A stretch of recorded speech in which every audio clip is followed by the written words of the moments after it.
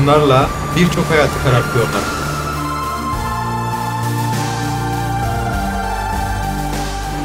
Her karanlığın bir aydınlığı var.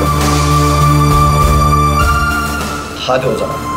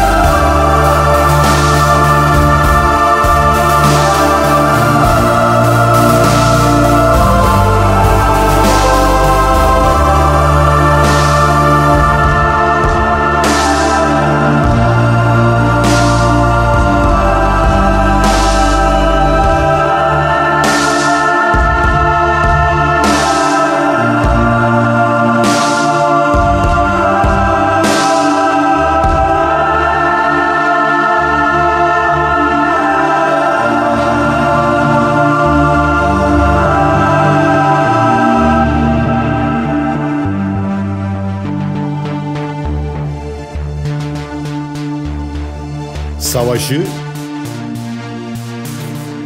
şiddeti, çaresizliği gömelim artık.